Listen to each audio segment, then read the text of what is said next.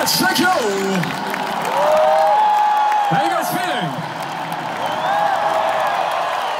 We're going to play a very old song now from our second album. I'm going to dedicate this song to MC. Happy birthday, MC.